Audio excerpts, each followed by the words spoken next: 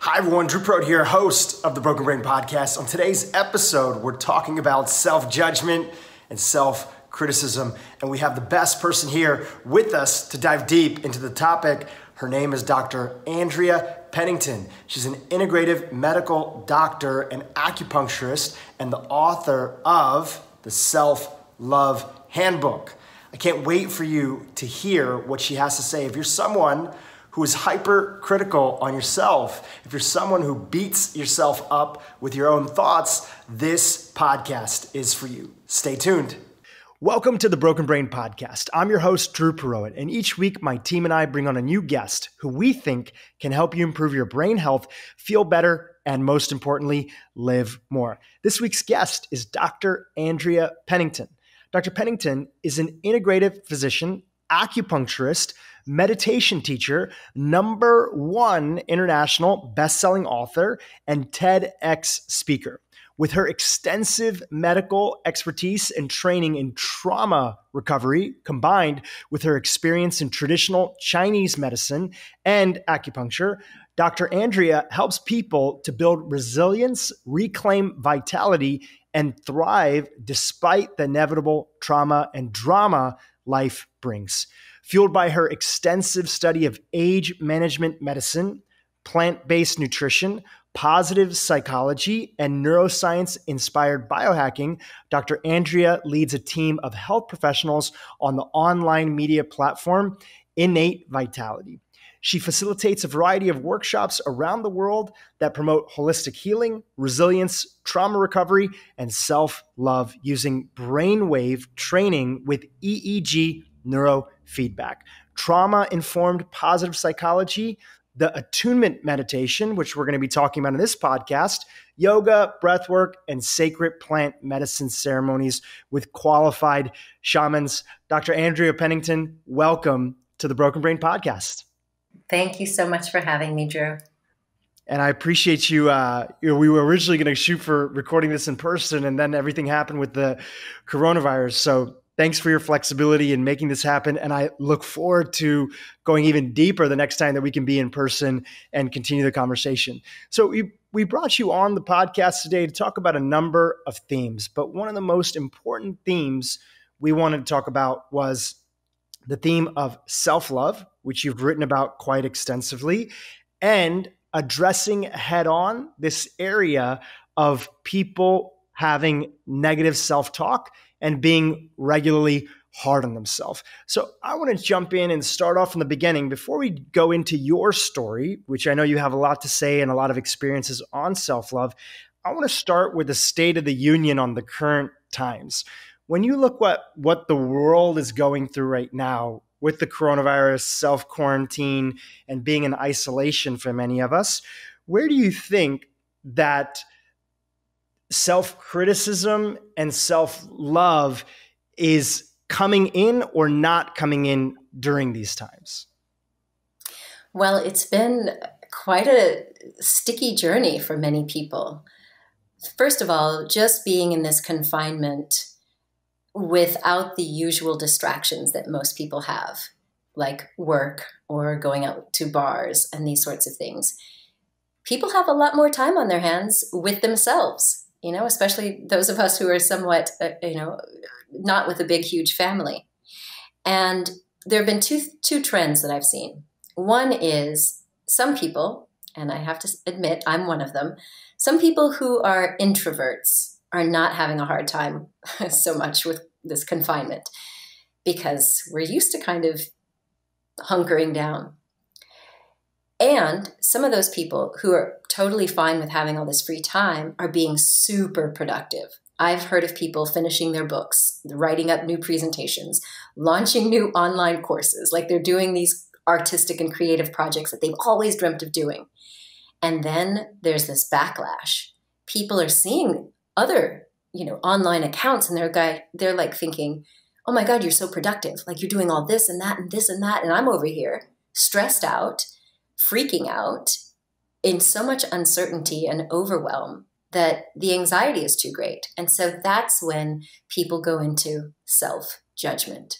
And some of them are certainly, you know, kind of medicating themselves with watching online TV shows and binge eating, but many of them are finding that this inner critic, this negative voice is creeping up and telling them, you know, you're a loser. Why aren't you doing what so and so's doing? Like, why can't you even control yourself from, you know, not binge eating? And so there is a lack of self love that has probably already been there. It's just that people were able to distract themselves from that inner dialogue with work and other pursuits. Let's start at the beginning. Where does even that self criticism and where does that self judgment voice come from? You know, you have such an interesting intersection of being a physician and an acupuncturist and having your whole world of integrative and traditional medicine and Chinese medicine. And you have all these modalities and philosophies that have influenced you combined with all the work that you do on brain health and plant medicine. I'm curious when somebody asks you, where does this voice come from? Where does self judgment come from? What do you share with them? Well, I tell them that they weren't born with it, but it got constructed you know all of these little voices. It's generally not just one by the way. There are usually several who have different tones of voice and different language.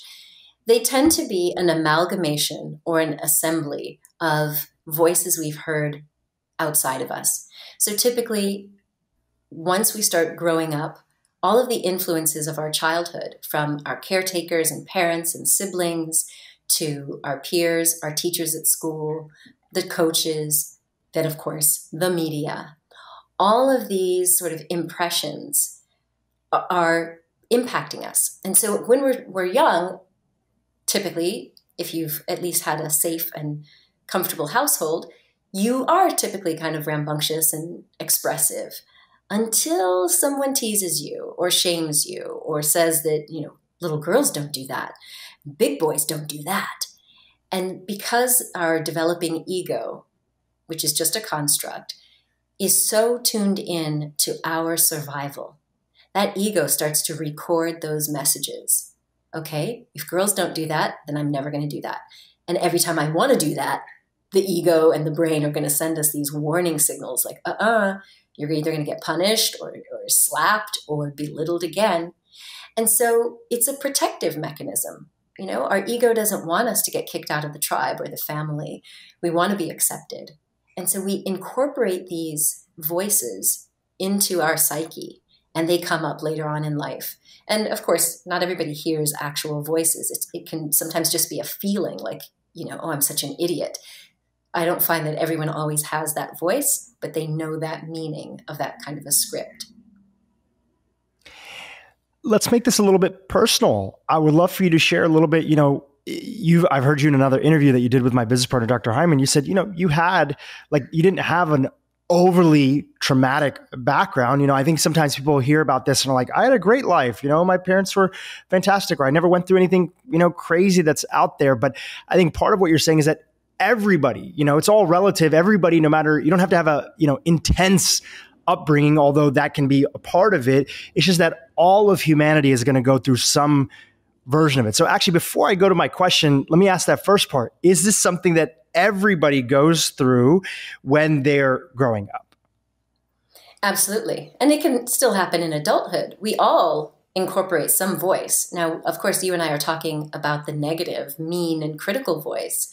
But you might have had really supportive parents, you know, or a great coach who encouraged you. So you may have an inner dialogue that says, ah, oh, you can do this. You got it. You got it. Right. But for most of us, uh, for everyone else, yes, we have incorporated these voices from somewhere.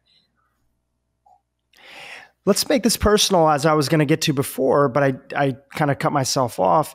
Let's talk about your life growing up. What were some of these voices that you heard in your own experiences?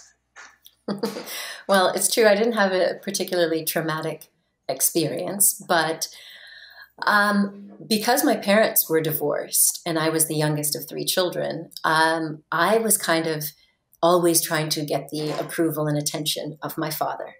And because of how my father grew up, he had this belief that the only important thing in life is to get a good education and to get a good job and that sort of secure pension. You know, that was his his paradigm. And so what I heard growing up is every time I wanted to play trumpet or I was in a new play at school or when I wanted to join the cheerleading squad, I had my dad's voice coming up like, oh, you know, you're a dilettante just like your old dad. You know, you really need to focus. And so it wasn't particularly harsh. He, of course, was well meaning. He wanted me to be successful in life. But it really ended up impacting me because every time I had an impulse to do something creative or I wanted to explore something new, I had that voice inside of me telling me that I was a dilettante and that's a bad thing, that I couldn't focus and that was a bad thing. And so, it, of course, I didn't go through life thinking, oh, I'm just a bad person until it got to the point that it was so overwhelming. I had developed kind of this this compensation that said, okay, well, I better make sure I'm doing so many other good things, you know, this perfectionism and always on this achievement track to try to compensate for any time I did something quote unquote bad, that it became overwhelming. And I felt like this literal weight on my shoulders uh, nearly constantly until my mid 30s. I mean, it sounds crazy to say, but I literally finally woke up to the fact that I didn't love myself. I was hating on myself with these different voices you know, if you walk up, I always use this example. If you walk up to somebody on the street and you just ask them, you know, anywhere in, in the US at least, or most of the world, say, hey, do you eat pretty healthy? And most people would say, yeah, I think I'm pretty healthy, you know? And when you actually can maybe look at what they're eating and what they're doing, you might say, okay, health is a spectrum. And i think in the same way it's like if you walk up to most people and say like you know hey do you do you love yourself? I think most people would say yeah i love myself. You know they kind of write it off and they don't really ask themselves so where did you realize like how did you actually know and really inquire within whether you actually loved yourself? Well i actually didn't ask that question of myself the way that I found out I didn't love myself was in my medical practice. Um, about 20 years ago, when I first went into practice, I ended up um, focusing on a lot of addiction, eating disorders, and trauma work. Um, I got trained in this ear acupuncture technique and helping people through their addiction and binge eating and stuff. As we got them sort of stabilized and we're doing like the cognitive and behavioral stuff, what I noticed was there were some people who would like sabotage, like they'd get to a really good level of sobriety and, and other health parameters, and then they'd like trip up. And sometimes I'm like looking at them like, you you know better. I know you're stronger. What's going on? And as we kind of talked it through and got under it, what I discovered is that there was certain patients who didn't feel like they were worth being happy or having success. They hmm. didn't love themselves. They didn't feel like they were valuable. And it was at that time that I was kind of like, just hearing some of the things they said, I was like, oh my God, I feel that way too. So I didn't have words to, to say, oh, I, Andrea, you're such a loser. I hate you. I, I hate myself. But once I heard these patients and why they were ending up trauma, you know, re traumatizing themselves, that's what it was. It was a lack of self love. There's a doctor here in Santa Monica, integrative doctor named Dr. Edison uh, DeMello, and he says the first question I always ask my patient when they come in is, do they believe they can get healthy? Because if they don't believe that they can get healthy, we have to first start there before we go down the pathway of what protocol, supplements, testing, and everything else that they move forward with. And I think it's so fascinating because a lot of times we don't actually know that that narrative is running in the background just as you were saying you had to see it in somebody else. So i want to i want to go to your story. And i asked you a little about life growing up. You were talking about this acupuncture experience. Uh, you had shared in a previous interview that um, your your mother was a big influence of introducing you into integrative modalities. Can you talk about that a little bit more? Yes, my mother has always been this this rebel in the family. Um, God bless her. It was interesting because she, um, in the, the 90s, right in the heyday of the crack cocaine epidemic, she was the medical director for Georgia Mental Health Institute. Um, which is in Atlanta. And she, as part of her role as a medical director, she had to do all this sort of um, continuing education. And she was, of course, overseeing the ward where people would come in with addictions and overdoses and such. And she was offered this training program for treatment uh, of addiction using auricular, that's ear, acupuncture. And I remember at the time hearing her, I was in medical school at the time uh, at WashU in St. Louis, and she was telling me how these women in her practice who were addicted to crack cocaine, who were pregnant or had just delivered their babies, they were coming into this treatment program as outpatients, and she was detoxing them. And at the time, I was like, that is inhumane. You can't even do that. You know, I had just done my psych rotation and seen people in the hospital hooked up to IVs, getting fluids and all this supportive care. I'm like, you can't do that as an outpatient. They need to be in the hospital so they can be supported. And she's like, no, the acupuncture is doing it. And I went home uh, to visit her over Thanksgiving break, and I was like, I want to experience these needles. Like, what's going on? Because there's nothing in them. You're not injecting any medicine or anything. So she put in these needles and set me in this room, turned down the lights, and I had the wildest sort of rush of energy. And then I felt this flood of emotion and tears running down my face. And I was like, what, how is that even possible? These few little needles stuck in these little tiny points. Well, I went back to my, my medical school and I, you know, begged the dean to let me go and do this training. And I went to the Bronx in New York and did a rotation there where I put in over 100 treatments and watched people detox before my very eyes. And it was that experience that opened me up to realize that there is more to healing than meets the eye. And to your point about this belief, like, do you believe you can heal? And do you believe you're worthy of healing? I started to see that being repeated so I was running this wellness center, and we would get referrals from other people, and we would refer people to other doctors. And I talked to this holistic dentist, and I said, Hey, I've got this patient. You know, you have to understand they've been addicted to pain meds in the past. So I'm really trying to help them find a dentist who can either do this root canal or take out the teeth or whatever is going to need to happen. And as he was looking at their x rays and all of that, he said, Well, does this patient even believe and I was kind of like, you know, at that point in my career, I was like, really? You're down like mm-hmm. that? and he was like, yeah, because if we, for example, decided to do implants, if they're too afraid or they don't believe, that their body will not take the implant. So I, I was being exposed to this as very young, you know, as a physician early in my career and recognizing that we have to take into consideration the mind, the body, what, what in Chinese medicine we call the spirit, our environment, our beliefs, all of that impacts our ability to heal. When you think about that initial moment that you had when your uh, mother had introduced you to the, to the needles, to acupuncture, and that transformative experience, how would you explain what happened to both your body and your spirit? And did your mom help you at the time to give you context for like what actually was happening. As you said you weren't injecting anything in your body you weren't putting anything there's nothing actually that's going in. So what was actually happening that you think led to the feelings that you had at that time and the release that you had at that time? Mm-hmm. it's interesting. My mother the language that she used as she was trained, she was talking in Chinese terms. Like, okay, you've just felt that rush. That is the movement of qi. When the qi engages and you get this sort of rush, that's what's happening in, in sort of the Vedic or India or yogic traditions, we would say a Kundalini experience.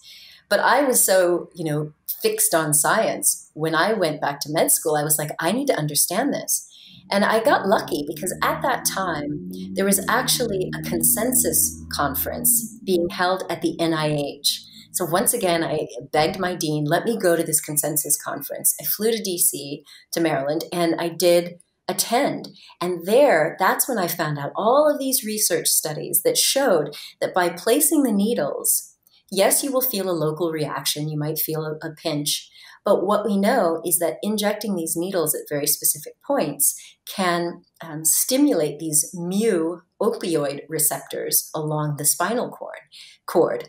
And that's what mediates the pain relief, for example. Um, that rush of energy, well, we know that all of these nerves are connected. You know, the vagus nerve runs from the brain to the brainstem all the way down to the gut. And so that rush that people feel in their stomach coming up to their heart, well, that's how it's being mediated by activating these nerve fibers. And in terms of the emotional release, again, we kind of have to go back to the Chinese model. We know that when we're stimulating, you know, things like the heart or this um, parasympathetic, it creates this sort of bonding and relaxation effect. And so that is how the science and the Chinese medical system would explain what I experienced. Let's look at the concept that we started off the podcast with, which is self criticism, self judgment, being hard on ourselves. When we are in this mental loop, in our default neural network in our brain, what is happening to our body? What are we doing to our body from a chi level if we look through the lens of of Chinese medicine or or another modality like Ayurvedic medicine where it understands the energies in the body. So we're, when we're in that mental loop, when we're thinking those thoughts, when we're stuck there, what's actually happening to our body?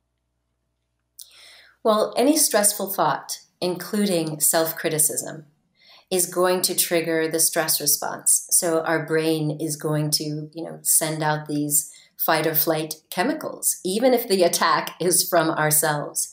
And so, from an energetic perspective, when we know that those neurochemicals and hormones are flooding through the system, it creates a chain reaction.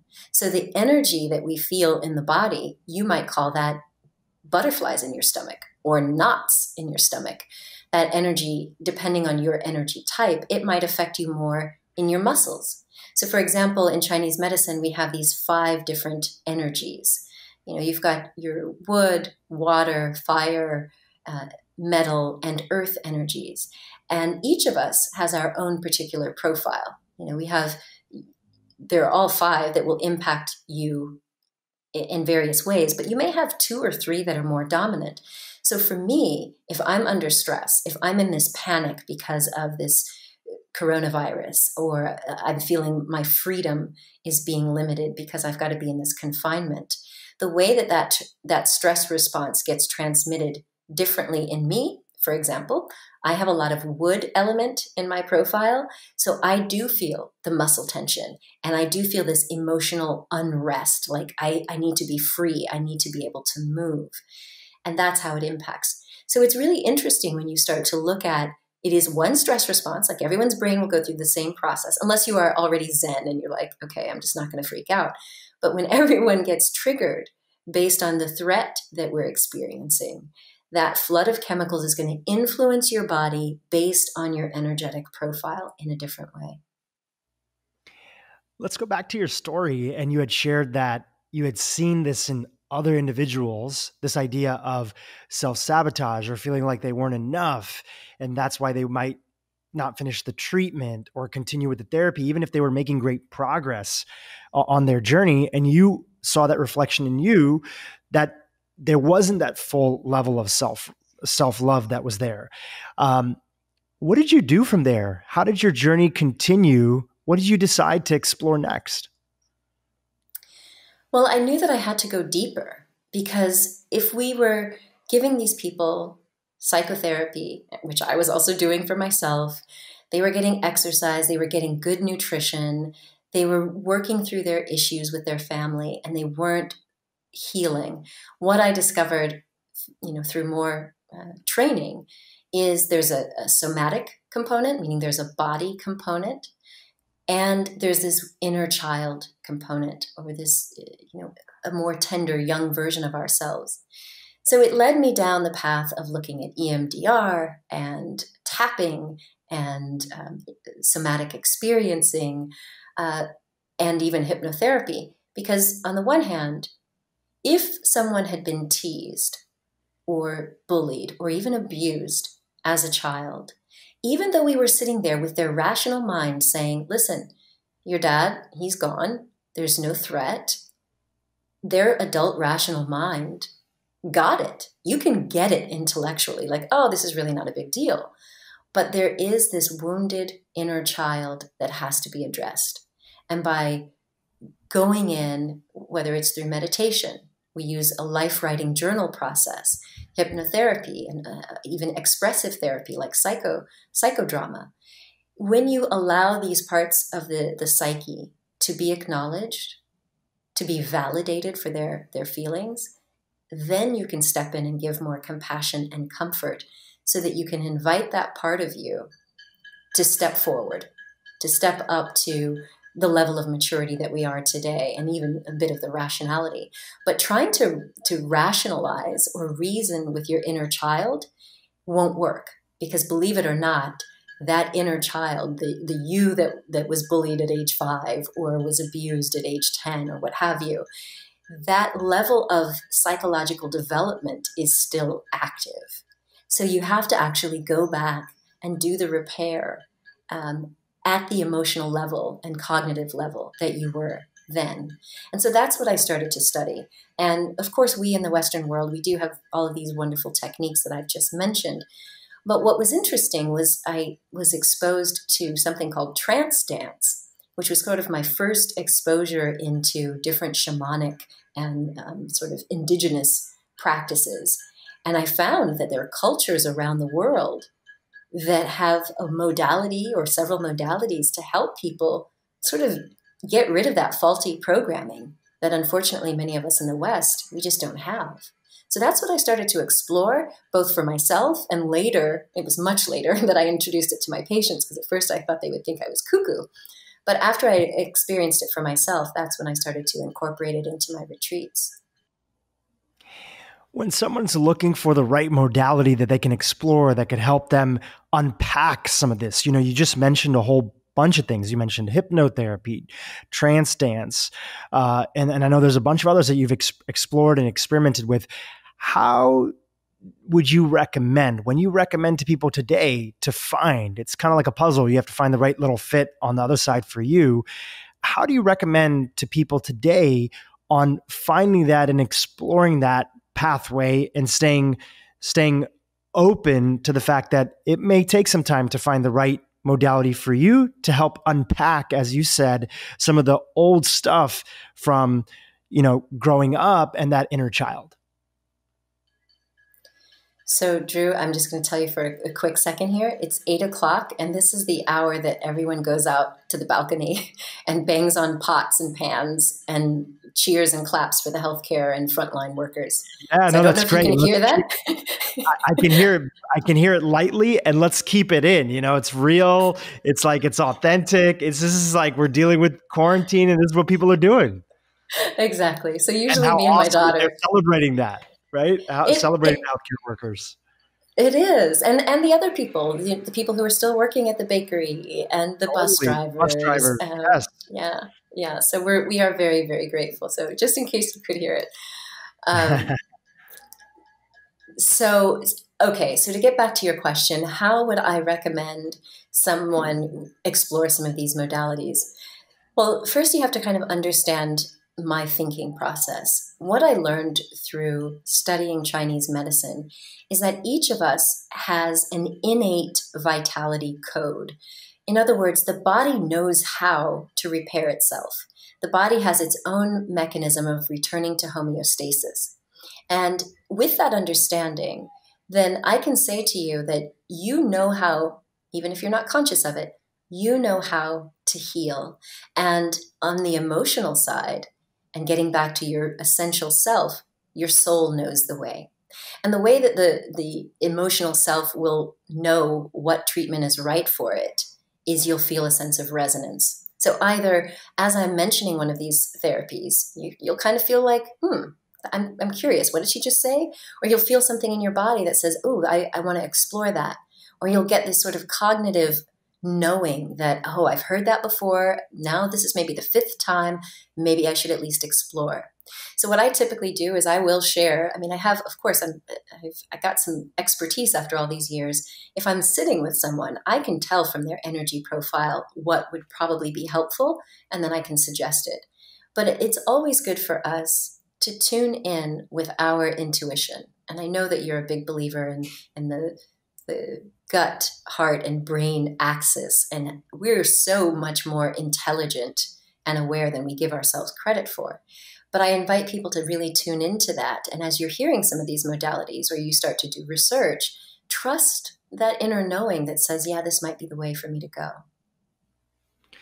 So, part of it, if I zoom out and I look at how you're explaining this for our audience, the first part is that these self critical thoughts and voices, they're not us. There's just things that we might have inherited from growing up, from society, you know, sources outside of us, experiences, being teased, being bullied on the critical side. They could be coming from anywhere, but it's not our true voice.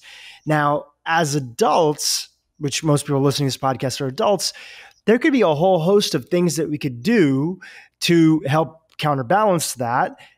And along with it, if we don't get back to the root of it, which is core things that probably most likely developed when we were younger at the basis of our our brain development, at the basis of our identity development, at the basis of our ego development, if we don't use some modalities to explore that, it's hard to really get to the root of what's happening. And then to look for those modalities, we're really stepping into the place of what resonates with us. What are we naturally drawn towards? We feel excited to pick up this book. Oh, we heard somebody say something about acupuncture again for the third time this week, or ecstatic dance that's there. Let me go and follow my heart, follow my bliss, as Joseph Campbell says, to go down that pathway. Is is that a, a, a good summary of what we've talked about so far?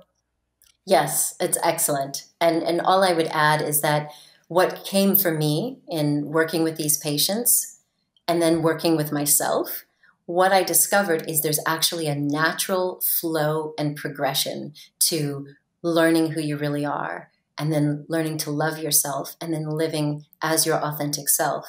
And that process uh, is, is what I've included in my, my most recent book, The Real Self Love Handbook. So it's a five step, now proven process for helping you identify who you really are. And we start by doing exactly what you said. It's really identifying how did you get programmed in the first place? Like, where is the source or the origin of these beliefs? And how do we sort of debug your mental computer? How do we reprogram the subconscious mind and allow what I call the soul print to determine who you really are and live from your essence?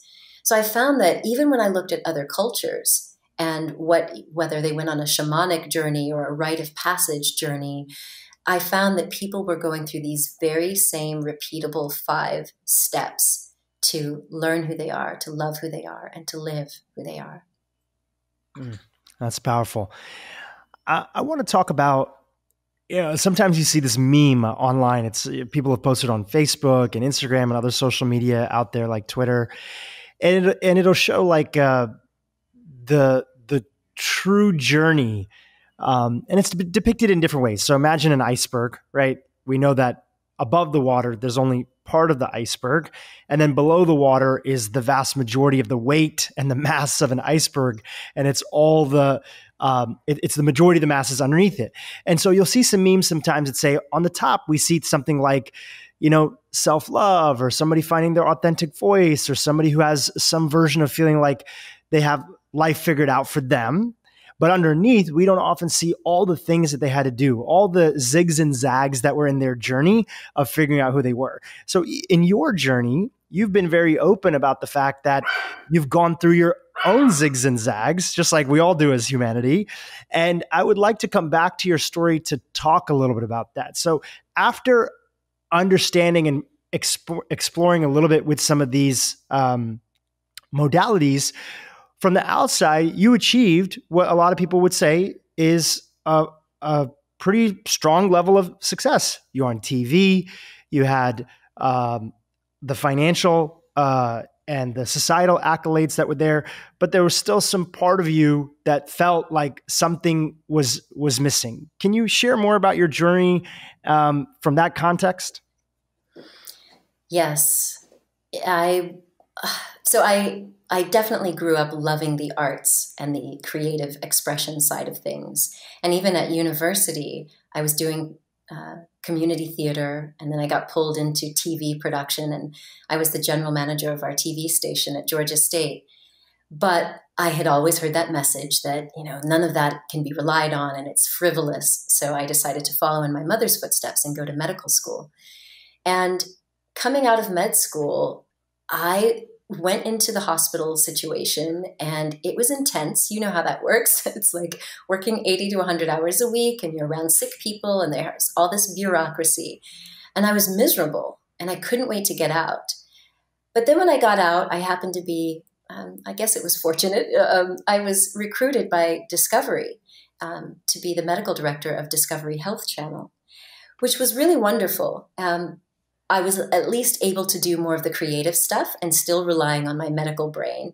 And that's when I created my wellness center.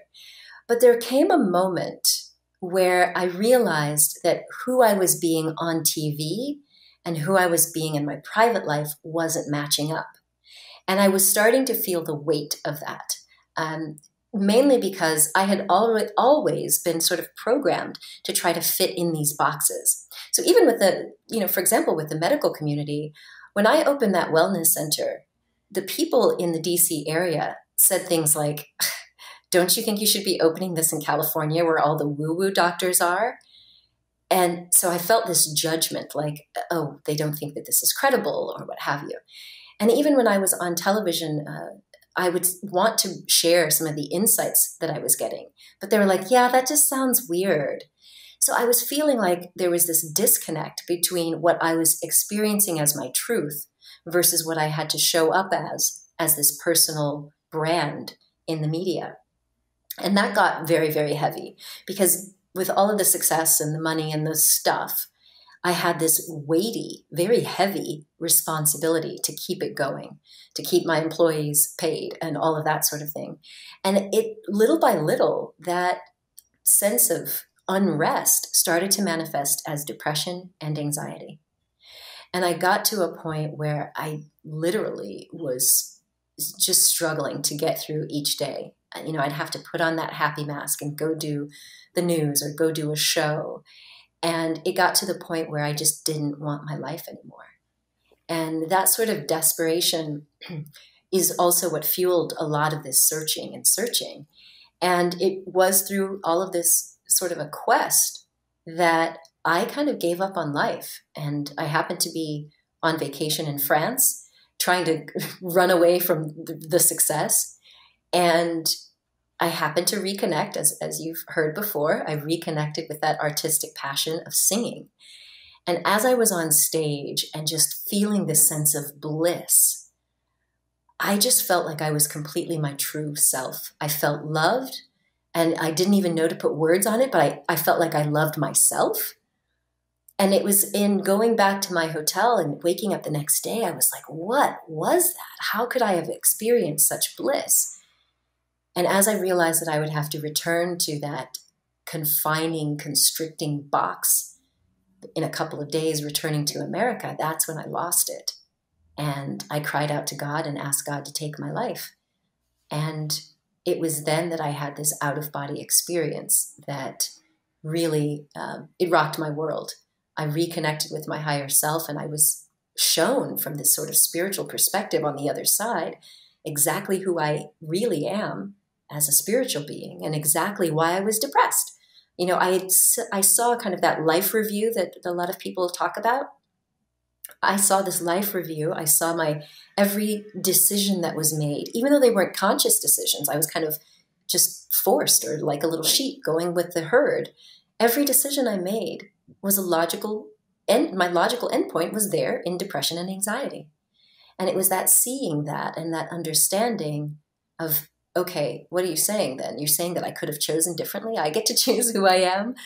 Um, and that's when I was uh, willing to say yes to life. And I, I, saw a vision of a future that it that did inspire me. And that's when I came back into my body. And the depression was gone, the anxiety was gone, and that feeling of self love, that remained. I didn't understand it, but I was like, this has got to be something that I live by for the rest of my life. You know, there's that quote from the Course in Miracles and a few other places it's attributed to, but it says, What you resist will persist. What you accept, you transform, or what you accept, you go beyond. In that moment of awakening that you had, what do you think it was that you were resisting? What was the resistance, the, be- the belief? What was the thing that was keeping you from who you already were and are? It was resisting self expression that I had learned through my childhood. I didn't feel free to express myself. I felt judged every time I wanted to. Uh, it was resisting being true to my own voice. And that's what I had resisted. I had always tried to fit in to get my father's approval and then to get the medical approval and then the media approval. And in doing that, trying to fit into all those boxes, I was denying my true self, my own voice, and my own expression. And once I saw that experience and had those experiences, it, it, was just very clear to me that we're all meant to come to this planet to live out our own particular destiny. And even though our parents, they mean well, I, I know my father meant well, but I'm here to live my own destiny, just as you are. We're not meant to be copycats. We're not meant to be sheep. And once I saw that, that was that was the turning point for me to transcend, to go beyond those feelings and to embrace my authentic self.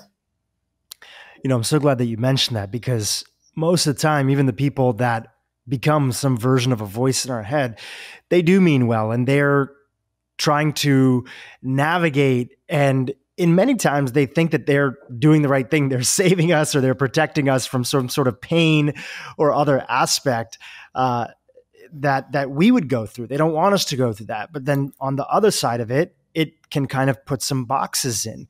I know that for me, um, I, was born in Nairobi, Kenya, in Africa, and my family is a fourth generation uh, Kenyans. And my dad, the day that I was born, I've shared this story before with our podcast listeners, but the day that I was born, there was a coup attempt in mm-hmm. Nairobi. And my mom had to give birth to me in the basement of the hospital. My dad wasn't allowed in the hospital. And he was at home worried, sick about us. Are we okay? Are we not okay? Luckily, the coup didn't end up happening. But for four days, the government was on national lockdown. Nobody knew what was going on. And in that time period, you know, my my dad said, okay, it's it's time for us to move and I want to be in America with our family. And one of the things that helped him get out of Kenya sooner and faster to create a better future for his family was he had an MBA and he had an advanced degree and he had accelerated up the corporate ladder and that sort of stuff. And I know that a lot of my dad's emphasis on school, on education, and wanting to do things a particular way came from his own pain that he went through and wanting me not to go through that pain. So when I wanted to pursue a different career, be an entrepreneur, drop out of college to start my first company, that brought up a lot of feelings for him. But if I actually took a step back and I looked at it, which much later on I was able to, I could see that, you know, he was just coming from the best place that he could. And my dad is very supportive. He's one of the biggest supporters of my life. And, you know, I'm so thankful for the childhood that I had.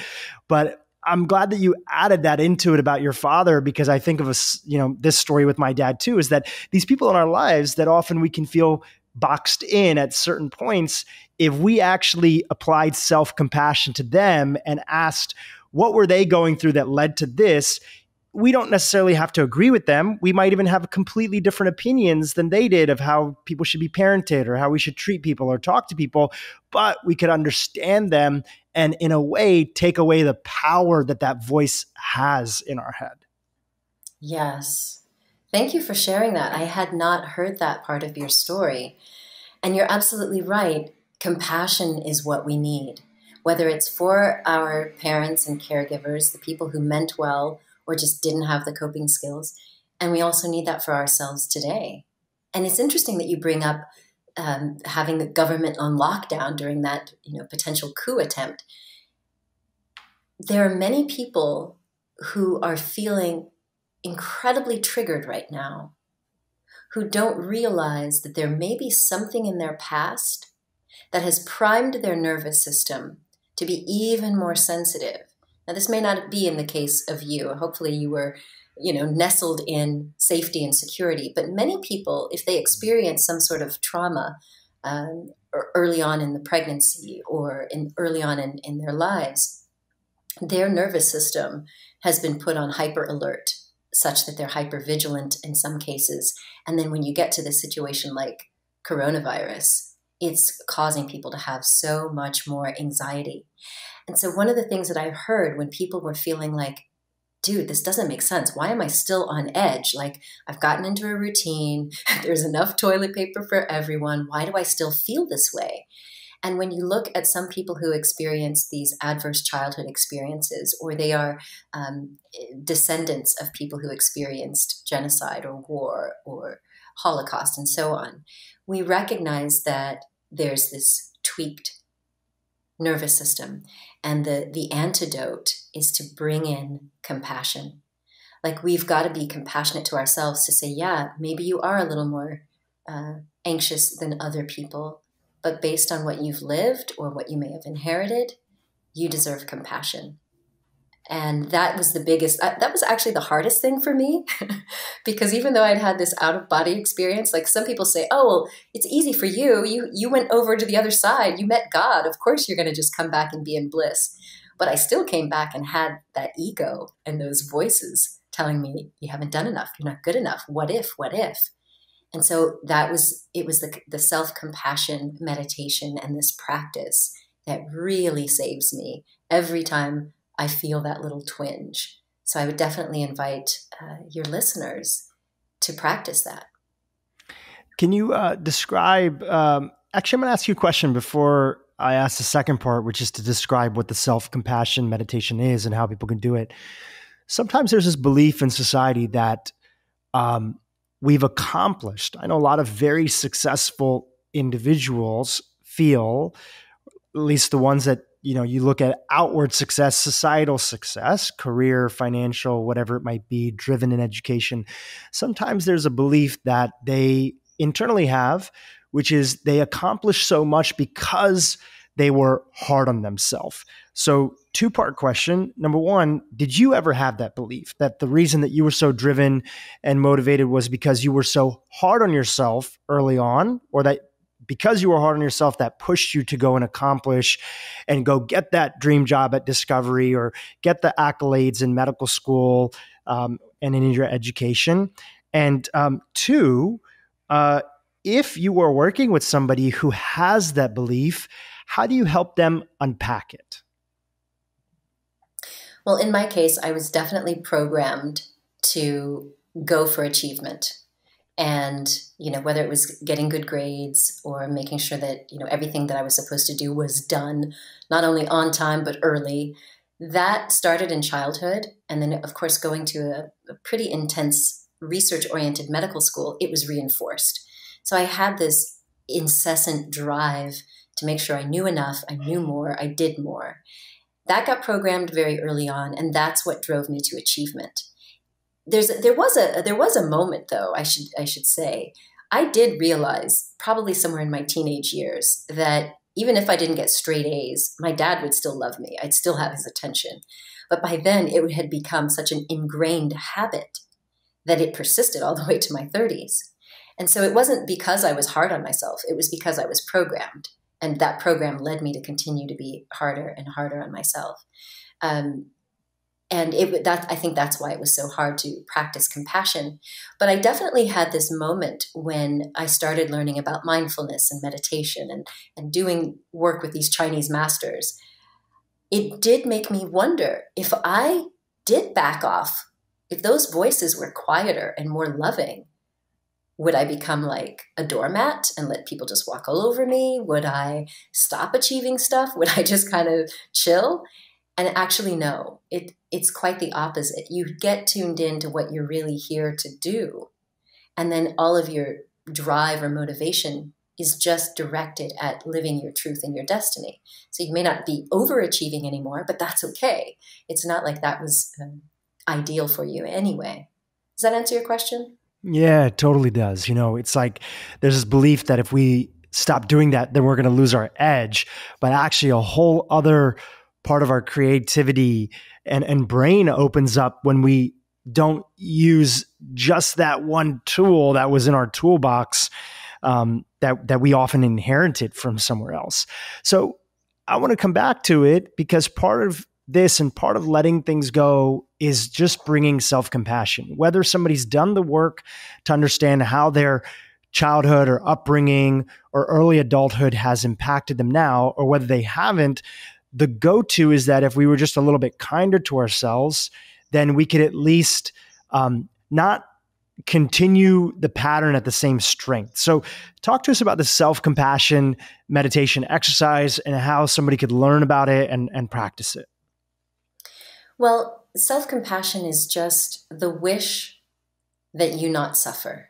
So it it traces back um, the particular practice that I'll share with you is reciting four phrases, and it traces back to something called the loving kindness meditation, which comes from a, a, a Pali word, which is metta, and metta is the loving kindness that a mother would have for her tiny little baby. It's that feeling that we have when we see a cute little puppy or a little duck and we're like, "Oh, I just want that that that little being to to be happy, to be safe, to be healthy, to be free from suffering."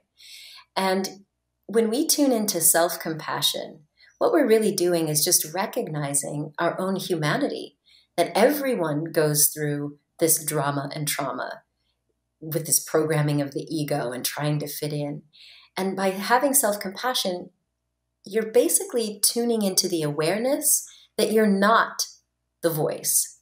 You said this earlier. You're not that mean voice. You're not your mistakes. You're not even your body.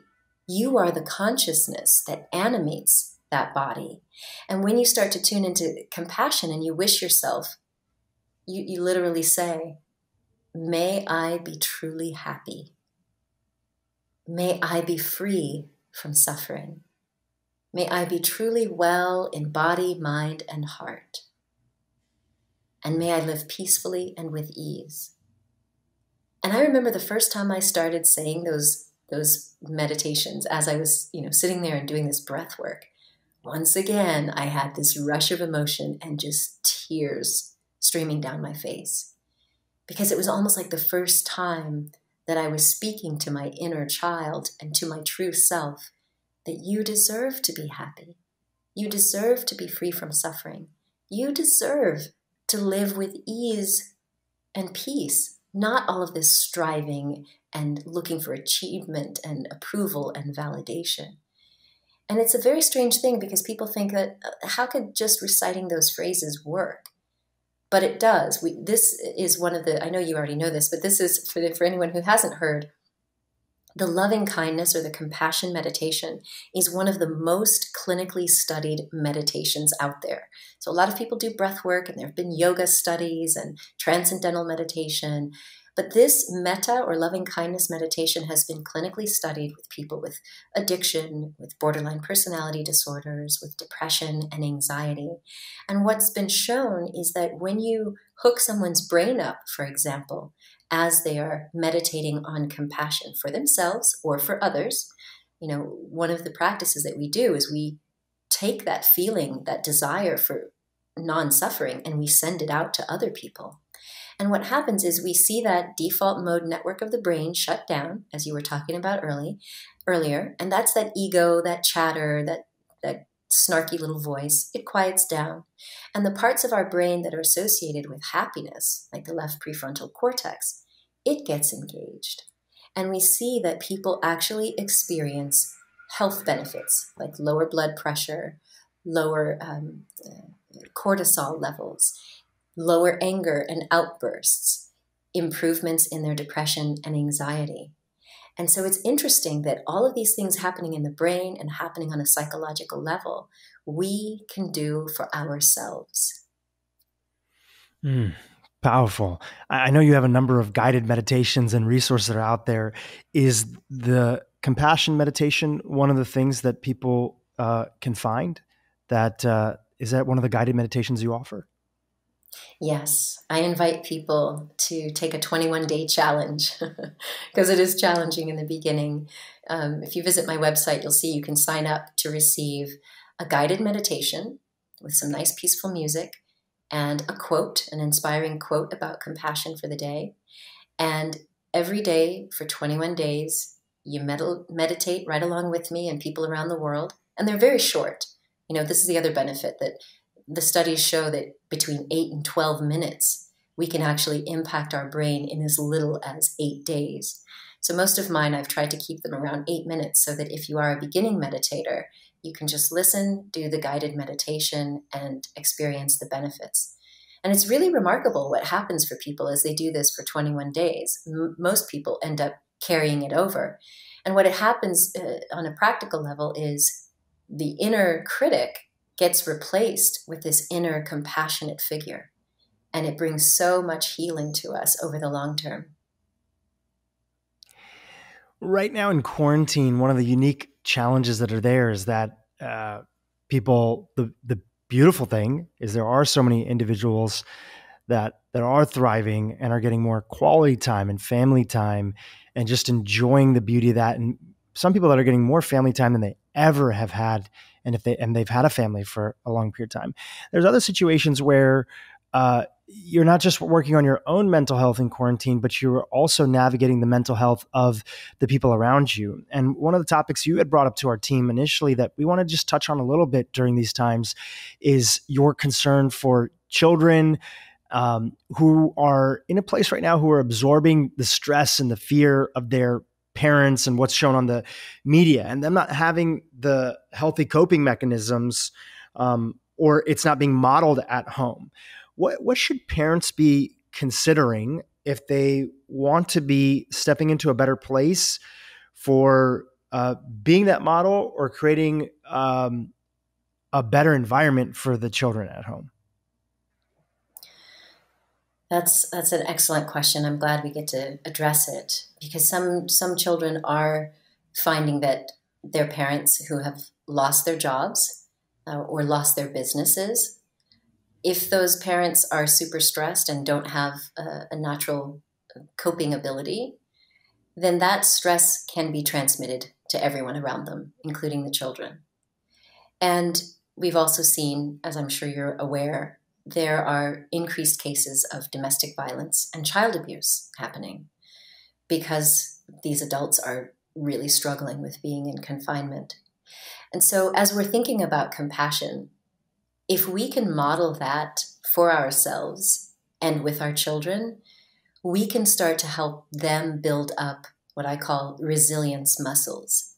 Because of course it's going to be stressful for everyone. It, I mean, it, as much as I practice this stuff, it was it was a big shift for me as well. But my go-to coping strategy is meditation. And over the years, being able to model that for my daughter has been amazing because I can see her now when something comes up, she doesn't go into the typical tizzy that I have seen other children. But we do have to model that. And if we can focus on that, then this doesn't have to be the precursor to PTSD. Now, it seems like in America, you guys are starting to um, potentially get out of quarantine.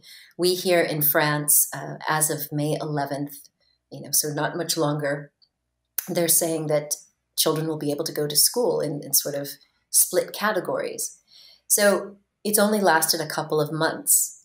Hopefully, there won't be any lasting effects.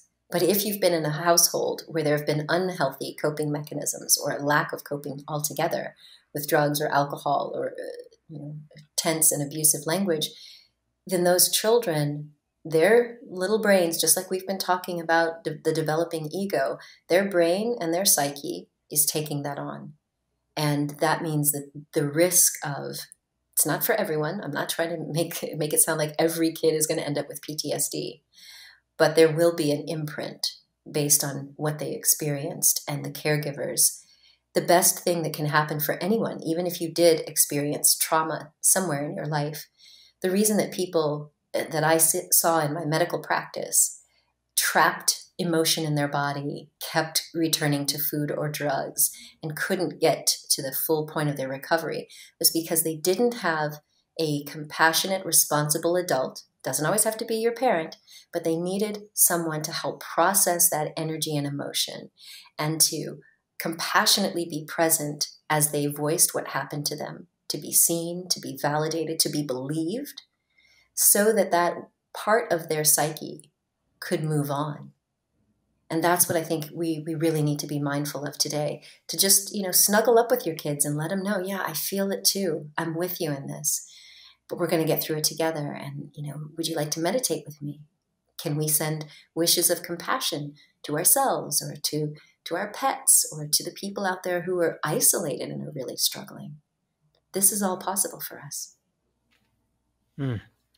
I love that and such an important message. On the other side of you know, if you suspect or already kind of knew that somebody's family situation was intense or dicey, you know, there's a lot of people that might have family members or friends that they know that the person that they're related to is a little unhinged or does not have you know, even if there's not physical abuse, and sometimes there could be physical abuse, and obviously that has to be reported and you know dealt with appropriately. But if you suspect that there's a family that's there that there might just be intense emotional abuse or a heaviness, what, what's the best way to navigate, not just during these times, but in general, uh, of approaching being a difference or being a being a positive force for a family that's in that situation? The number one thing is to reach out and connect and talk.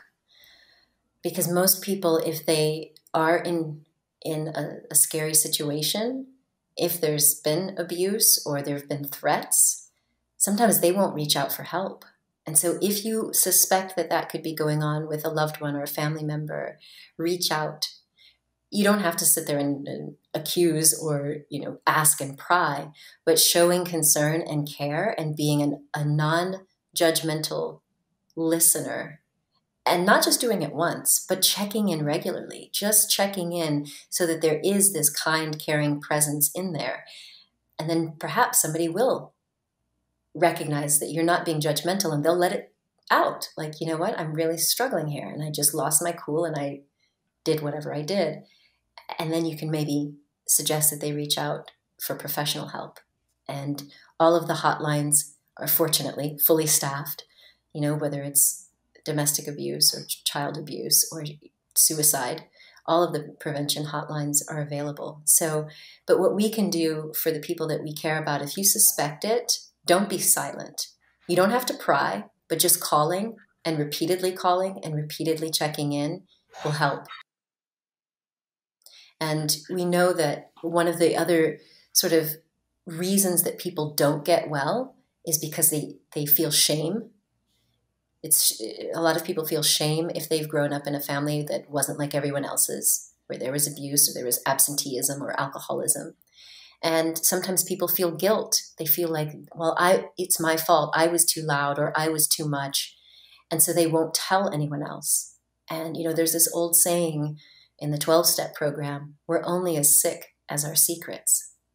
And so if people are keeping secrets, that means they're bottling up all of that energy.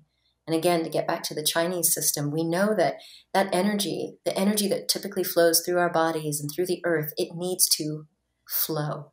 And if we're blocking it, if we're not using our voice, if we're not expressing ourselves and our needs and our desires and our boundaries, then that energy ends up going inward. And that's what can eventually lead to dis-ease in some form or another. Mm, very powerful. Thank you. Thank you for that.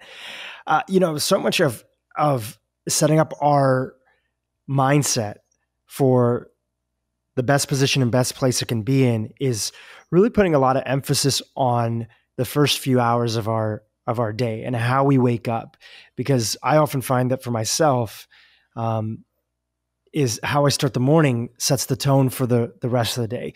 Are, are there practices of stepping into self-compassion or stepping away from being hard on ourselves or self judgment that we can incorporate in the morning, or even things that you might do for yourself that protect your brain, protect your mind, put boundaries around it, and let you step into the intention that you want to create for the day. Absolutely. I am a big believer in morning routines, and I'm a big believer in starting your day with you in mind. And If you're a parent and you have to take care of kids right away, I suggest that you wake up 10 minutes earlier so that you have some me time. Starting the day with breath work or doing the compassion meditation, journaling is another big favorite of mine, where you really tune in to say, What do I want to experience for the day? And that sets your intention. What do I want to feel today? And you set that intention. What do I want to express today? And you set that intention. And by doing either breath work or yoga or this kind of meditation in the first 10 minutes of your day, not reaching over to the phone, not checking email or social media, but really having this time that you dedicate to yourself, over time, you will learn to come from that space of those intentions that are centered on you living as your best self with those best um, wishes for yourself and for everyone that you come into contact with. So that's what I do. Every morning I wake up and before I interact with anyone, and I've trained my daughter so she knows that this is my magical time for me to do my journal work and my meditation and chanting so that I set the tone uh, for the rest of my day and my life. Part of being human is naturally things get out of balance and that could be a good thing. You know sometimes we have to work a little bit more because we have a deadline for a book or it's a little bit more intense in our business or we're taking care of a family member so we can't have the same you know routine that we want to. And what a lot of our past podcast guests have talked about is just catching ourselves catching ourselves when we're in that position applying self-compassion and just saying okay when i get the next chance i'm going to get back into routine now now the hard part for a lot of people is catching themselves and finding those sort of leading indicators that are an example that we are a little bit more out of balance than we normally are. I'm curious for you, uh, um, Dr. Andrea, what are some of the things and what are the signposts that you look for in your life on, on a personal level that are an indication that you might have gotten a little bit more out of balance? I can tell when I'm being unconscious. so, for example, the way that that manifests is me being snappy or irritable.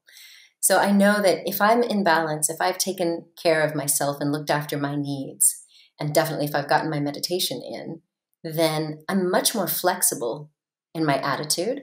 And if someone has a demand or a request, or my, my kid's popping up and want something, I won't snap. I'm in my present and rightful mind.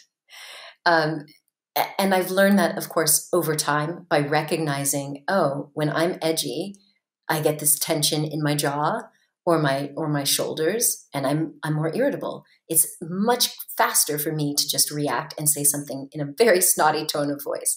Now that's what happens in me. But you mentioned something about chaos and change, and it's true that there are going to be times in our lives where where change is well, I mean, there's change is the only constant, right? Everything is impermanent. And one of the things that I recognized with resilience, besides compassion and having tolerance, we have to tune into this resilience trait of flexibility and adaptability. So that when we recognize, oh, okay, I did just snap. Okay, I realize it's because I didn't get up early because I was working late. I'm super exhausted we've got to have that compassion to say, all right, let me be adaptable and not get hard on myself saying, oh my gosh, I can't believe you did that. You should have, should have, should have. Because putting all that should on us weighs us down. So, you know, there, there are these resilience traits that all of us, if we're aware of them, as soon as you find yourself slipping into rigidity, in my case, that's what happens, then I know, oh, what's the opposite of that? Well, the resilience trait would be flexibility and adaptability. Oh, okay. Let me let me practice that a little bit more. Hmm, that's great. That's really great advice. Dr. Andrea Pennington, this has been an incredible conversation, and I'm sure there's so much for us to continue talking about in round two, which I'm putting out the vibes and the intention for that that can happen in person. Um, I just love in person interviews, and this was great too. But it's like it's always nice to pick up the energetic. Uh, uh, vibes of somebody else and to share that uh, experience in person. Um, I want to acknowledge you and thank you for coming on the podcast to talk about this important subject, subject which is so relevant uh, today. W- would love to talk about you know some of the books and offerings you have. You've built this incredible empire um, of retreats, which I'm sure might be on hold for a little bit, but there's plenty of other resources that are out there. Uh, can you share a little bit about the world that you've created and some of the resources that are there for our guests? Yeah, absolutely. So, through the course of this finding my voice and uh, self expression, um, I started a, a media and publishing agency. And one of the books that we released in January, who knew we were going to need it so much, is The Top 10 Traits of Highly Resilient People. And it's me and 20 other authors from around the world sharing stories of how they've overcome challenges, both physical, emotional, and financial challenges. And they've emerged not only to survive, but to thrive, and they're stronger. And finding these 10 traits of resilience has been like a, a real lifesaver for me because it's it's allowed me to weather the storms of life and not break, but it's given me a way to teach other people how to do the same. So that's one book that, um, if someone is looking for some quarantine reading, you can tune into that and get some inspiration. And then, of course, I mentioned it in the interview the Real Self Love Handbook, which includes the, the cornerstone process, this five step process for liberating your authentic self, building resilience, and living an epic life. And I have a whole host of um, guided meditations. And yes, some of my workshops and retreats are, uh, are now being held online. So if you visit my website, andreapennington.com, you'll find pretty much everything there. Yeah, that's awesome. We'll make sure you can find the link in the show notes to all the things that uh, Dr. Pennington talked about.